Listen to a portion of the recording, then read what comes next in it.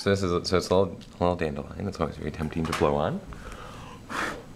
Yay! And when you do, the seeds go dispersing themselves.